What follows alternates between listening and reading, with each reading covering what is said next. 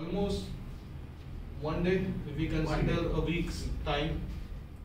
okay it's almost equal to more than one day okay या more than one day. जब projects heavy होता है जैसे